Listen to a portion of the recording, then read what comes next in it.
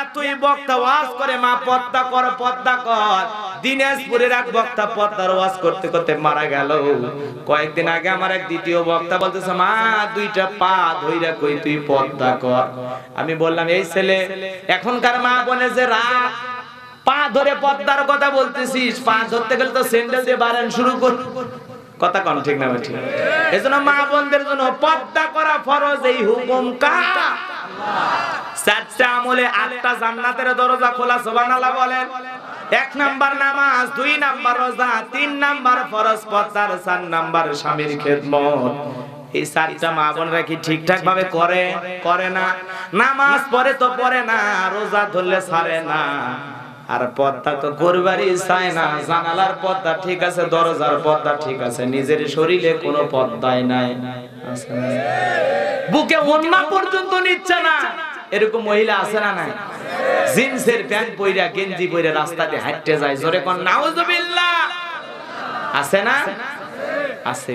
আর যদি কেউ বোরকা পরে, এমন টাইট বোরকা, শরীরের কোসাই কি সব বোঝা যায়? আছে না নাই?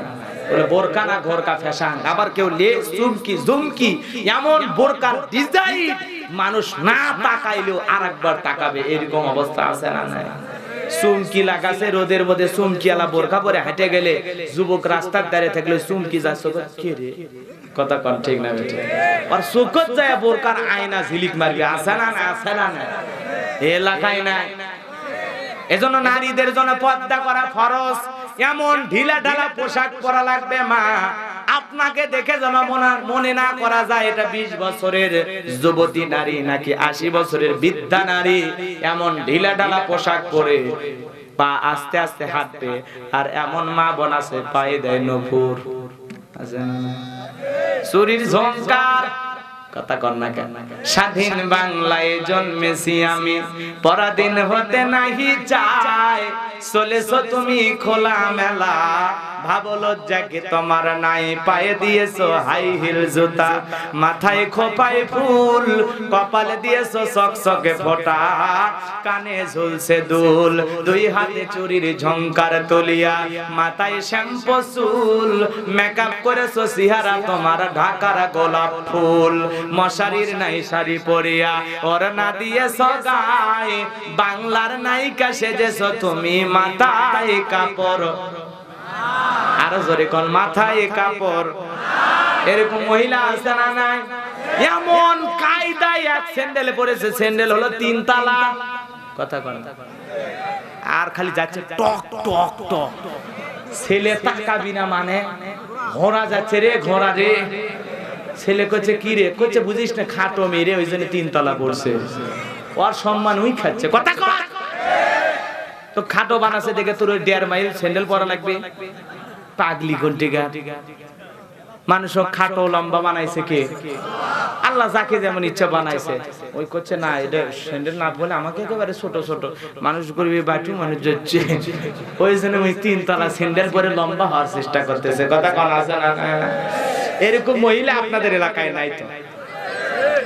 স্যান্ডেল যা পরে সেই স্যান্ডেলের দিকে তাকালে ওটা আমার মনে হয় কোন পুরুষের পাও যদি একবার পাড়া মারে অপারেশন করা ছাড়া উপায় নেই। কথা কোন আছে না নাই?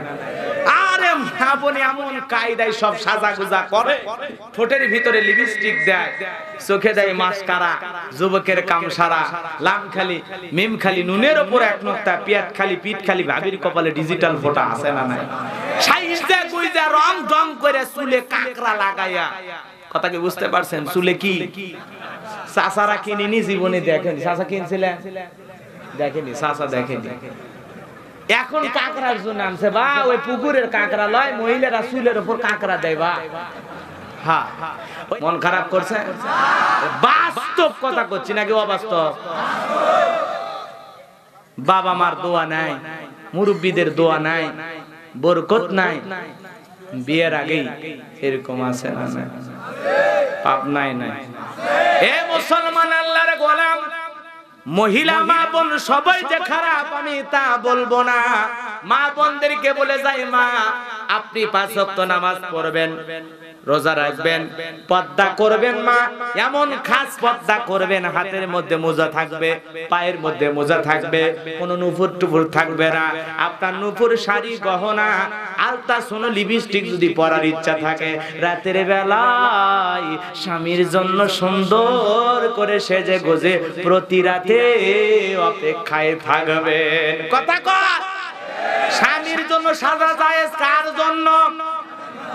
আর আমাদের মা বোনেরা সাজে মার্কেটে যাওয়ার জন্য, বিয়ের বাড়ি যাওয়ার জন্য এমন সাজা গোজা সাজে। হাই রে, এমন সাজা সকাল দশটায় গোসল শেষ। স্বামী ডেকে বলতেছে, আর কতক্ষণ কয়? আর একটু।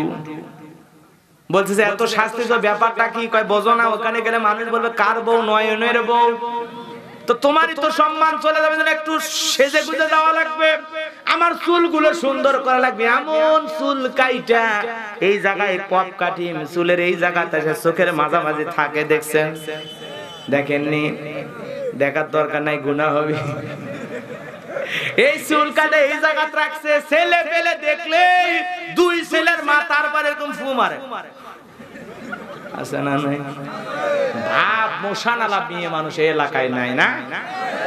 এমন কায়দায় নারীরা এখন চলাফেরা করতেছে ডিজিটাল দেশ, নারীদের কিচ্ছু বলা যায় না। কি বলবেন? কি বলবে নারীদের শাসন করবেন? শাসন করা কোনো উপায়